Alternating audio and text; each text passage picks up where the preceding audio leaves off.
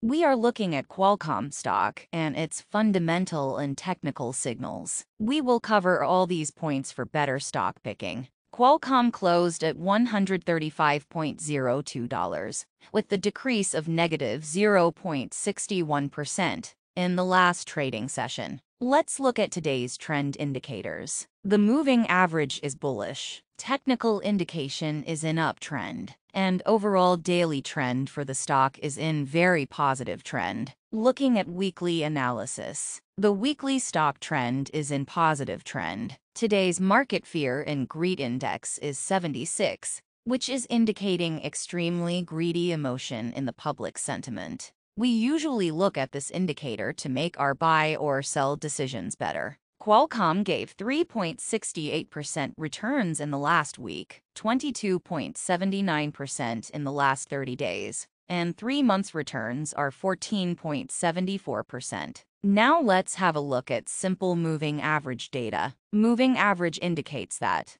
what could be the next footprint of the stock price in near future? 5-day average is 134 with a bullish indication. 10-day is 133 with a bullish indication. 20-day average is 126, which is a bullish signal. Let's look at fundamental analysis. We will mainly see the last two quarters of the company. In June 22, the revenue was $10,936 million.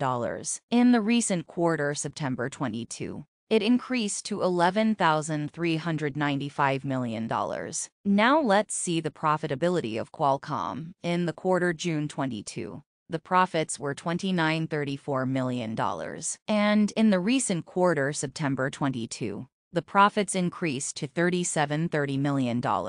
Let's see debt numbers. Debt to equity number tells us how much the company is in debt. In the first quarter, it was 1.39. Then it decreased to 1.18. Then in third quarter, it again went down to 0.97. In the recent quarter, the debt score declined to 0.86. Generally, this ratio should not be over 2.0. This is today's buy or sell decision for the stock, which is purely based on the technical indicators. This is not a recommendation, but use this just as a guiding pointer for your stock picking.